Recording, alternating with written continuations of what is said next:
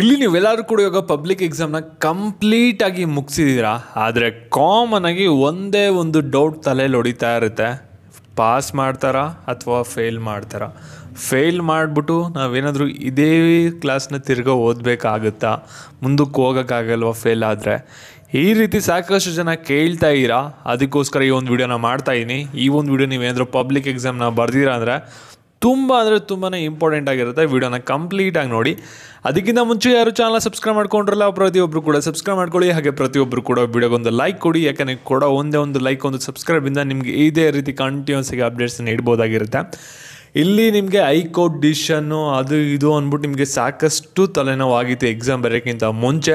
Finally ಎಲ್ಲ ಕೂಡ ಕ್ಲಿಯರಾಗಿ ನೀವು ಹೋಗಿ ಎಕ್ಸಾಮ್ನ ಅಟೆಂಡ್ ಮಾಡಿದ್ದೀರಾ ಎಕ್ಸಾಮ್ನು ಕೂಡ ಇವಾಗ ಕಂಪ್ಲೀಟ್ ಮಾಡಿದ್ದೀರಾ ಫಿಫ್ತ್ವರೆಗೆ ಸ್ವಲ್ಪ ಬೇಗ ಮುಗೀತು ಏಯ್ತು ನೈನ್ತ್ವರೆಗೆ ಸ್ವಲ್ಪ ಟೈಮ್ ತೊಗೊಂಡು ಎರಡು ದಿವಸ ಆದಮೇಲೆ ಎಕ್ಸ್ಟ್ರಾ ನಿಮಗೆ ಇವಾಗ ಎಕ್ಸಾಮ್ ಮುಗ್ದಿದೆ. ಮತ್ತು ನಿಮ್ಮದು ಎಕ್ಸಾಮ್ ಏನು ಬರೋದಲ್ಲ ಕೀ ಆನ್ಸರ್ ಕೂಡ ಆಗಲೇ ರಿಲೀಸ್ ಆಗಿದೆ.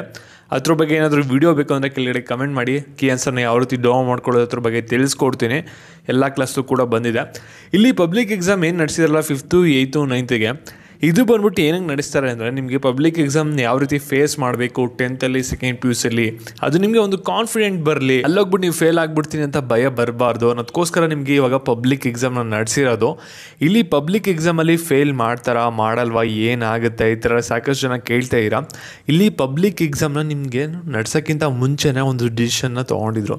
ಯಾಕೆ ಅಂದರೆ ಈಗ ಒಂದು ಪಬ್ಲಿಕ್ ಎಕ್ಸಾಮಲ್ಲಿ ಯಾರನ್ನೂ ಕೂಡ ಫೇಲ್ ಮಾಡಲ್ಲ. ನಿಮಗೆ ಡೈರೆಕ್ಟಾಗಿ ನೆಕ್ಸ್ಟ್ ಕ್ಲಾಸ್ಗೆ ಹೋಗ್ಬೋದು.